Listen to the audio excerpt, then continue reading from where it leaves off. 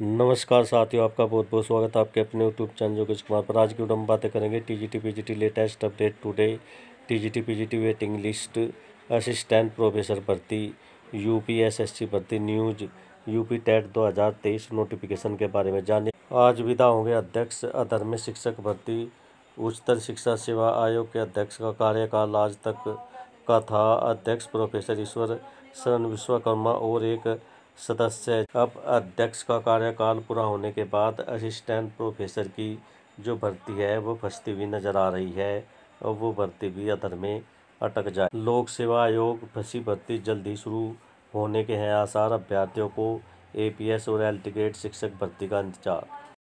उत्तर प्रदेश लोक सेवा आयोग यूपीएससी में विभिन्न कारणों से फंसी भर्तियों के जल्द ही से शुरू होने के आसार जाग गए हैं। इनमें अपर निजी सचिव एल ग्रेड शिक्षक भर्ती, प्रवक्ता भर्ती भी शामिल है। अपर निजी सचिव भर्ती के लिए संशोधित नियमावली शासन से संशोधित हो गई। इससे पूर्व पी, एपीएस के पदों पर भर्ती के लिए 2013 में विज्ञापन जारी किया। अब जल्दी शुरू होने के आसार हैं एल्टीग्रेड शिक्षक भर्ती और एपीएस की भर्ती।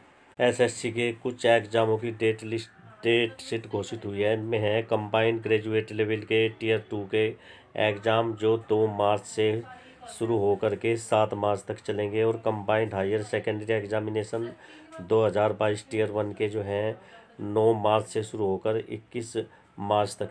विषय टीजीटी पीजीटी 2022 विज्ञापन में शामिल। तेरह लाख उन्नीस हज़ार प्रतियोगी भविष्य को ध्यान में रखते हुए परीक्षा तिथि घोषित करने अथवा परीक्षा तिथि घोषित करने में असमर्थ होने की दशा में त्याग पत्र देने के संबंध में युवा मंच ने ये पत्र जारी किया है।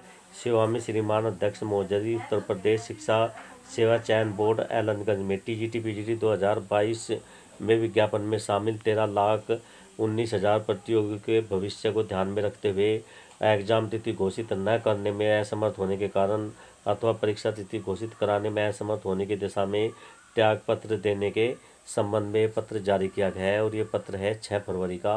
आज का प्यारे ब्यातो यूपी टेट 2023 के नोटिफिकेशन की तैयारी जारी है। यूपी टेट 2023 का नोटिफिकेशन आएगा अप्रैल ओके हो फ़िलहाल आज की वीडियो में इतना ही। मिलते हैं नेक्स्ट वीडियो में नेक्स्ट न्यूज़ के साथ। तब तक के लिए धन्यवाद। जय हिंद, जय भारत, जय भारती।